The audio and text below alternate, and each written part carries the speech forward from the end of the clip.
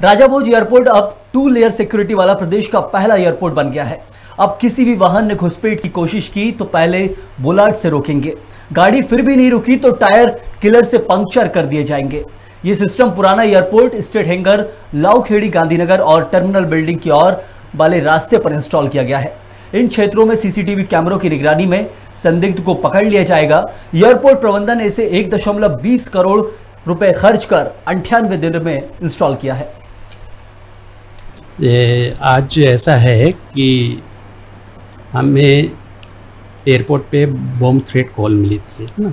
उसकी तैयारी चल रही थी साथ में से, जो सिक्योरिटी जो इक्विपमेंट लगा है वो सबको भी रेडी करना पड़ता है।